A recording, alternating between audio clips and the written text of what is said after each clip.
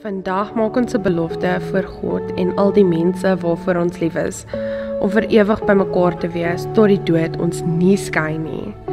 Ek is opgewonde want as die vorige 11 jaar so wonderlik was om jou, weet ek daar is nog hoop, opwinding wat wag vir ons huwelik. Dankie dat jy die besluit gemaak het om my 'n vrou te maak. Dankie dat jy saam met my die volgende stap in ons verhouding wil klim. Jy beteken die wêreld vir my. Jy verstaan my. Jy ken my van binne tot buite en ek sal jou vir niks verhuil.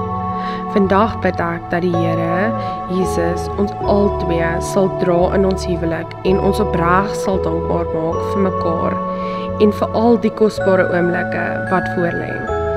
Mag ons elke klein detail in ons huwelik en wat die lewe vir ons bring waardeer en volle geniet. En laaste, soos ek altyd vir jou sê, I love you more than you know, babes.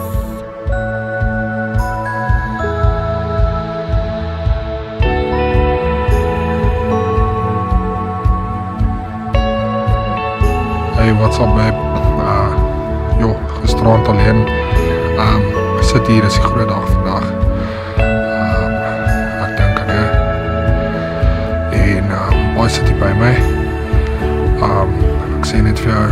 Jou. Um, remember us this way. En ja, net tot die einde. Ek sê lief hê tot die einde wat my hart nog klop. My hart is lief op jou en op alles en dankie vir alles.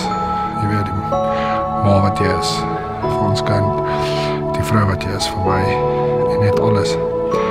I love you, Kubi for life, me and you against the world. Love you, babe.